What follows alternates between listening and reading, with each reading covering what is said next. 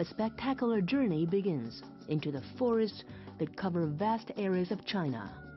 From the spruces high up on the roof of the world to the vast expanses of bamboo in the southeast, from the tropical rainforests of the deep south to the mountain pines of the far northeast.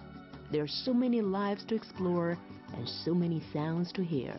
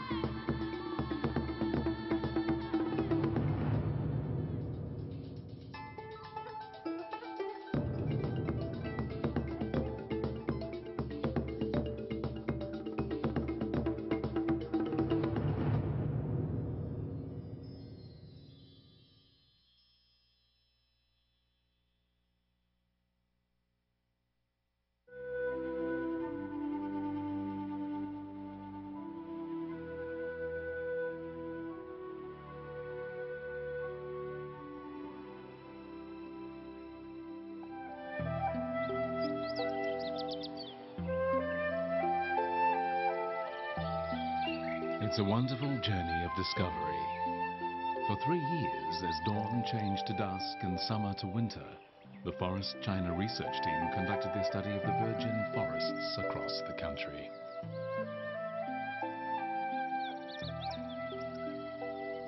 Beyond the boundaries of the society we're so familiar with is the gradually forgotten natural world. The virgin forests are a last place to experience the true rigor of Mother Nature and to listen to her original songs. They're songs of loneliness and resplendence, brightness and hardship. And sometimes they are the first and last breaths of life.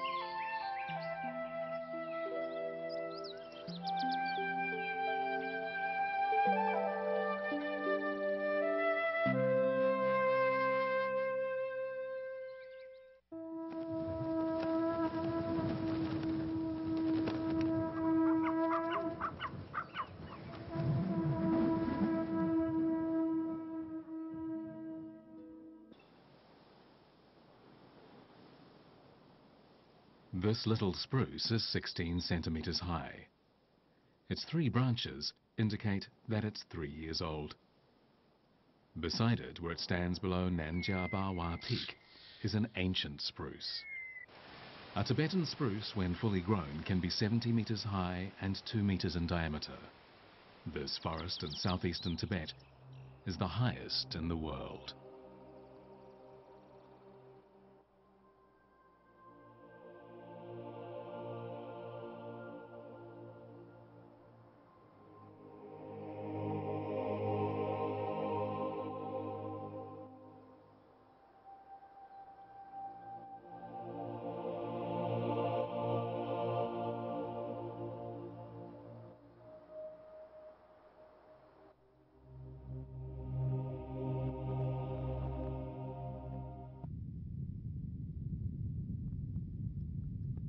The Tibetan Plateau was formed 40 million years ago due to the collision of the Indian Ocean Plate and the Eurasian Plate.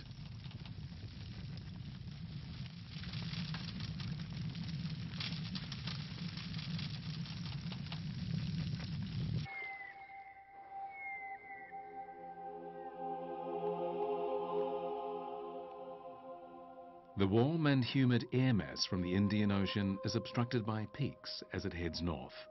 This brings plentiful rainfall to southeastern Tibet, and the forest there enjoys more precipitation than any other in China.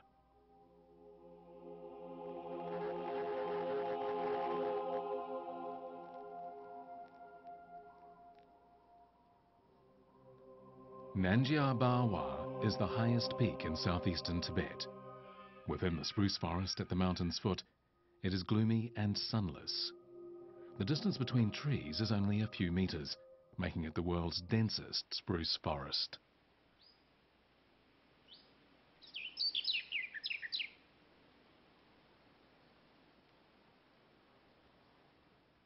The ultraviolet light on the plateau is more than 10 times stronger than on the plain. The little spruce, if exposed to the sunlight directly, will be killed by the ultraviolet light within a few hours. The thick crowns of its elders have blocked the sunlight and provided it with the protection it needed. However, now that it's three years old, the spruce needs more sunlight to grow. What filters through the old spruce's crowns is no longer adequate.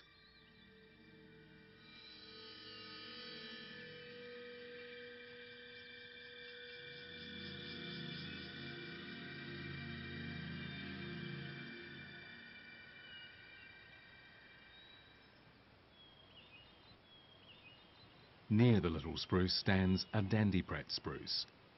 Though only a little over 10 years old, this spruce will never grow any higher.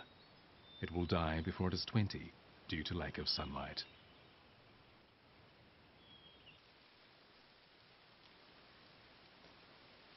The warm and humid monsoon wind from the Indian Ocean ascends with growing power along the mountain.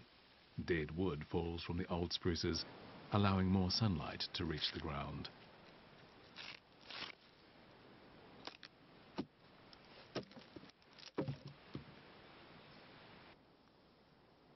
Thus, the little spruce gets its opportunity.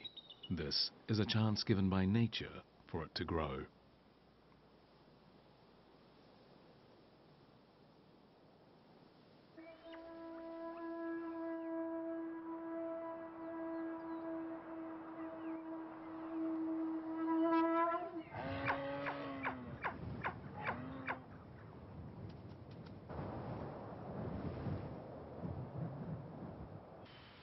The little spruce, like the rest of the plateau, welcomes the change of seasons and willingly joins the cycle of birth and rebirth in the world's highest forest.